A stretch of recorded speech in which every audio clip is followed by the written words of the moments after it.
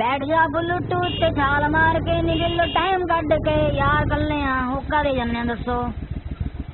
ਹੋਵੇ ਅੰਗਰੇਜ਼ ਸਿੰਘ ਦਾ ਨਾਕਾ ਤੇ ਤੂੰ ਕਿਵੇਂ ਲੰਘ ਜੇ ਕਾਕਾ? ਪਾ ਨਾ ਦੂ ਪਟਾਕਾ। ਚੱਲ ਗੱਡੀ ਲਾ ਸਾਈਡ ਤੇ। ਯਾਰ ਸਾਹਿਬ ਆਦਰ ਕੀ ਗੱਲ ਹੋ ਗਈ? ਉਹ ਚੱਲ ਛੇਤੀ ਕਰ ਪੇਪਰ ਦੇ ਪੇਪਰ। ਪੇਪਰ? ਯਾਰ ਸਾਹਿਬ ਬਾਦਰ ਬੜੀ ਵਾਰੀ ਪੇਪਰ ਦਿੱਤੇ ਪਰ ਪਤਾ ਨਹੀਂ ਕਿਉਂ ਪੇਪਰ ਚੈੱਕ ਕਰਨ ਵਾਲੇ ਨੂੰ ਮੇਰੀ ਰਾਈਟਿੰਗ ਸਮਝ ਨਹੀਂ ਆਈ। ਤਾਈਓ ਫੇਲ ਕਰ ਦਿੰਦੇ ਸੀ ਦੱਸੋ।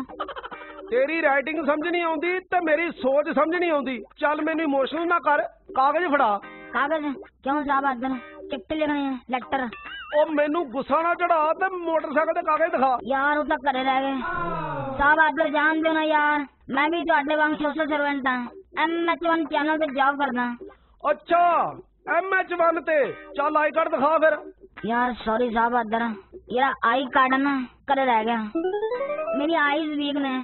ਆਈ ਹਸਪੀਟਲ ਦਾ ਕਾਰਡ ਹੈ ਉਹ ਦਿਖਾਣਾ ਓਹੋ ਉਹ ਕੀ ਮੁਸੀਬਤ ਆ ਯਾਰ? ਉਹ ਕੁਝ ਤੇ ਦਿਖਾ। ਯਾਰ ਮੈਂ ਤੁਹਾਨੂੰ ਆਪਣੇ ਡੇਰਿੰਗ ਦਿਖਾ ਦਣਾ ਟੈਨਸ਼ਨ ਨਾ ਲਓ ਚੱਲ ਉਹੀ ਦਿਖਾ ਦੇ ਫਿਰ। ਓ ਓ ਇਹ ਪੁੱਤਰ ਜਿਸ ਦਿਨ ਤੂੰ ਲੱਗਾ ਨਾ ਅੰਗਰੇਜ਼ ਸਿੰਘ ਦੇ ਹੱਥ ਤੇ ਉਦੋਂ ਕੱਢੂ ਫਿਰ ਤੇਰੇ ਮੈਂ ਵੱਟ। ਕਿਉਂ ਬਈ? ਸਹੀ ਕਿਹਾ ਨਾ ਮੈਂ।